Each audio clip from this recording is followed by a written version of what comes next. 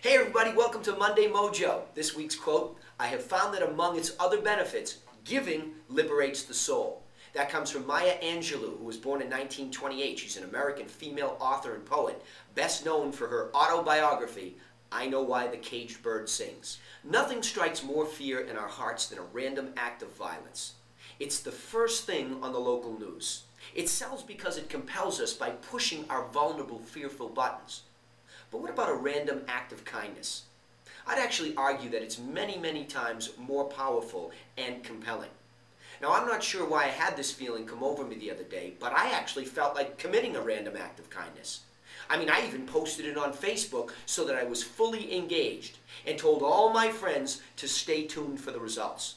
It actually dominated my thoughts for the entire morning and grew to the point where I actually jumped up off my desk and went looking for my victim. I decided to head towards my favorite lunch spot, which is actually run by a community of people that are self-sustaining and always doing for others. Seemed like the perfect venue to me. I could barely focus on ordering as I looked around for the great opportunity. That's when I noticed a cute elderly couple sitting behind me. To paint this scene properly, the decor of the restaurant is like that of a tree fort, something that you might actually find in an enchanted forest. All of the tables are hand carved from recycled wood, and the booths are actually private enclaves that you disappear into. Reminds me of the book The Hobbit. So, with a subtle turn of my head, I could only see the husband, who had this great old fashioned pair of suspenders on. He and his wife were debating what to order. But what made the situation more compelling was the way he deferred to his wife, who in turn was thoughtful in her own consideration of what he might like. It was like this little amusing dance.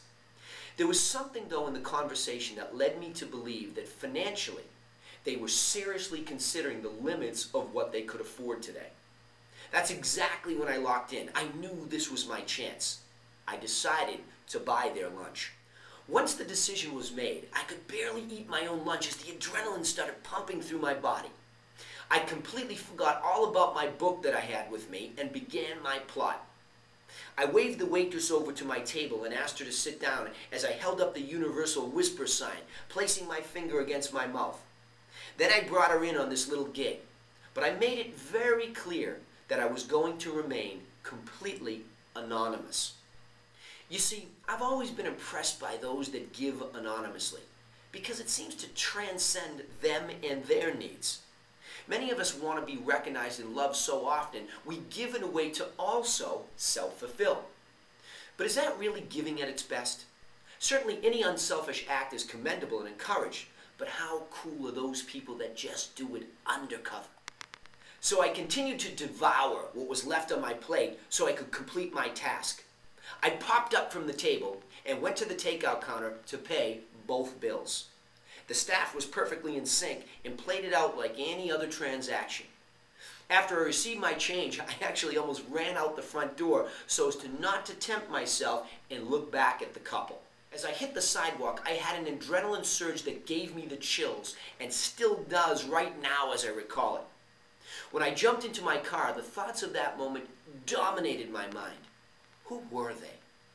How long had they been together? Then suddenly my eyes welled up and I felt all choked up. I'm not really sure why that happened, but maybe it was a pure connection to humanity in the moment. Maybe that's just what happens when you get over yourself and completely give yourself to someone else. But I have to say that that feeling was more intoxicating than anything else you could possibly indulge in. When I returned to the office, I couldn't wait to share the update on Facebook. I was like a little kid. And at the risk of that public exposure, negating the essence of true anonymity, I still felt compelled to share the experience. Never before had I posted anything that received such an overwhelming response. Many people chimed in with their thoughts, which only made me realize what's really in people's hearts. These days, it seems like everybody is selling something, and most of it we just don't need.